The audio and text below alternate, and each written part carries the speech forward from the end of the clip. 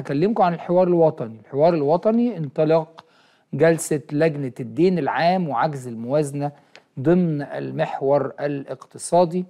انطلقت النهاردة جلسة بدائل خفض الدين العام وتعظيم الفايدة من الاقتراض الداخلي والخارجي اللي بتنظمها لجنة الدين العام وعجز الموازنة ضمن فعاليات المحور الاقتصادي على هامش الحوار الوطني.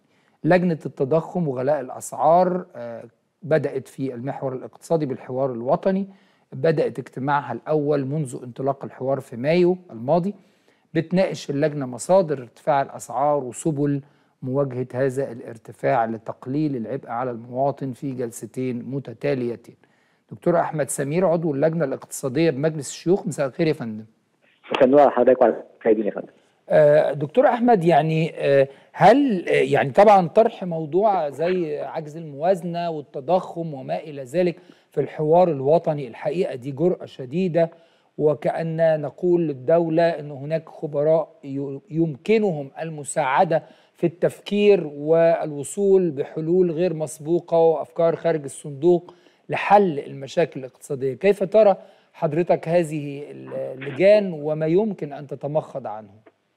طيب الحوار الوطني نموذج جديد للدولة المصرية وشكل الدولة المصرية في عهد الرئيس عبد الفتاح السيسي والجمهورية الجديدة. آه، الدولة المصرية وتحديدا في الملف الاقتصادي اللي فيه ثمان لجان داخل الحوار الوطني كلها لجان متكاملة بتناقش كافة جوانب الاقتصاد بشكل تفصيلي.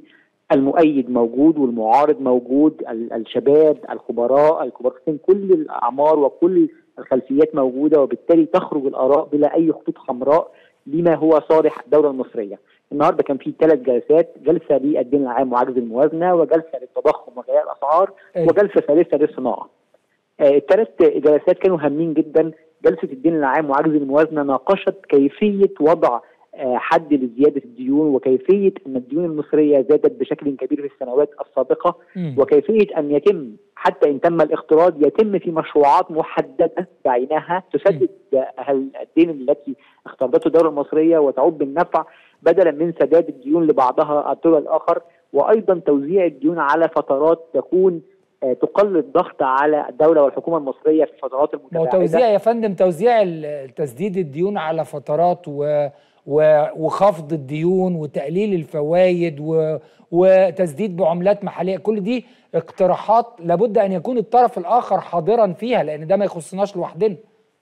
طيب بالطبع النهارده لما بيحصل نقاش للخبراء النهارده الخبراء بيطلعوا توصيات، التوصيات هذه بيتم دمجها وطرحها على الحكومة وعلى السيد رئيس الجمهورية لاتخاذ اللازم بشأنها، بعضها يخرج منها قرارات والسيد رئيس الجمهورية أعلن بشكل صريح أن كل ما يخرج من توصيات الحوار الوطني هو محل تنفيذ ومحل تفعيل من الحكومة ومن آه، الرئاسة ومن. كمان كافة مؤسسات الدولة. وبالتالي هذه التوصيات خاصه زي ما حضرتك قلت لما تكون توصيات للصالح العام ومن خارج الصندوق وتفيد كلها بتبقى محل نظر وهي مرحلة جديدة في نقاش كافة ال ال الفئات المستهدفة في الناحية الاقتصادية على آه، خلفية كيف يستفيد المواطن المصري من الأفكار وتقليل الضغوط على الاقتصادية على الدولة المصرية في ظل أزمة اقتصادية شديدة الصعوبه. أنا بشكرك جدا دكتور أحمد سمير عضو اللجنة الاقتصادية بمجلس الشيوخ